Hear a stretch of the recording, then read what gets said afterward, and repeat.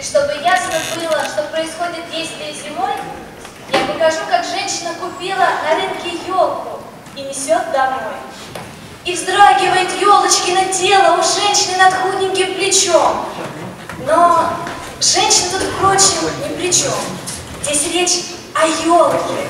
В ней-то все и дело.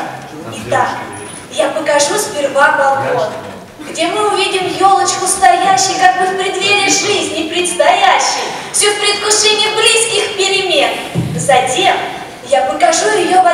вечеров рождественской недели. Все в блеске, мишуры и канители, как бы в полете всю. И при свечах.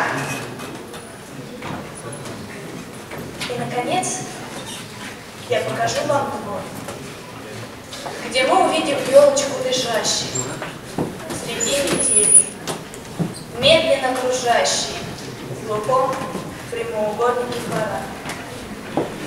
Безлюдный двор на снегу точнее, чем календарь нам обозначен, что минул год, что следующий уж начал, что за нелепой разной кутерьмой, боже мой, боже мой, как быстро время пролетело, что день хоть и длинней, да холодней, что женщина, но речь тут не о ней, здесь речь о елке, в все и дело.